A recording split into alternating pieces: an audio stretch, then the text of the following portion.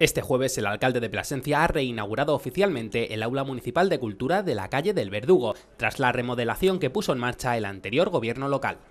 Yo creo que para cualquier responsable político debe ser al menos una satisfacción, si no la inauguración, si la reinauguración también de un espacio emblemático como este. Una satisfacción que yo creo que compartimos los que estamos aquí, porque no en balde esta aventura comienza la legislatura anterior y conseguimos consigue el equipo de gobierno anterior por los fondos para recuperar este espacio, repito, emblemático, es la palabra que todos utilizamos para describirlo. Y me toca a mí como alcalde inaugurarlo hoy, pero compartido evidentemente con el conjunto de la corporación municipal y con el equipo de gobierno anterior. Y, eh, y si la satisfacción es inaugurar, en este caso reinaugurar un espacio dedicado a la cultura, cualquier espacio dedicado a la cultura de verdad es una satisfacción eh, abrir sus puertas, como en este caso después de un tiempo eh, cerrado y relativamente abandonado, pues es una satisfacción también que este espacio esté relacionado con dos figuras de las letras de Extremadura, de, nuestro país, pero no vais a permitir que diga que dos figuras de las letras de esta ciudad.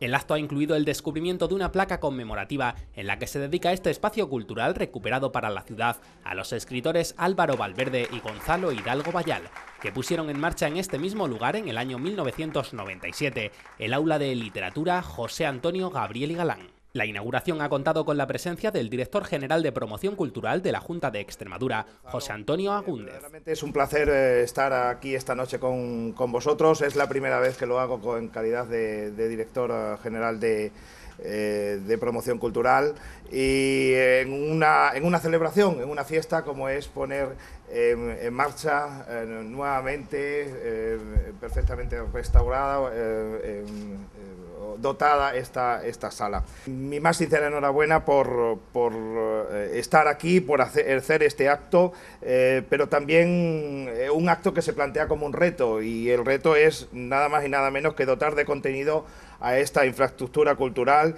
y darle el uso para el que fue creada. En unos tiempos además especialmente difíciles como hemos reseñado, en donde los dineros hay muchos sitios donde ponerlos, pero especialmente no podemos retraerlos de la, de la cultura. Centinos a El acto también ha contado con la correspondiente y obligada intervención de los homenajeados. Eh, Gonzalo y yo hemos presentado aquí a, muchos a muchos escritores, pero evidentemente siempre ha sido con los papeles en la mano porque este señor somos de leer y de escribir, o sea, no vamos a cambiar por razones profesionales y, de todo tipo. Cuando Sí, escritores por escrito, efectivamente, bueno, bueno el matiz. Cuando Juan Rack mm, comentó que era inevitable decir algunas palabras por, por pura decencia torera, pues le comenté a Gonzalo, Gonzalo, hay que decir algo. Y él echó mano de la literatura, porque este señor lee bastante, y echó mano de una socorrida frase de Barleby, un personaje de Melville, y dijo, preferiría no hacerlo.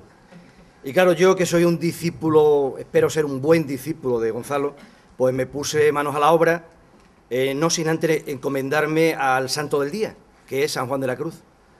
Eh, hoy es el patrón de los poetas curiosamente. Encomendé a él, escribí el texto que voy a leer ahora y se lo pasé, evidentemente, por correo electrónico.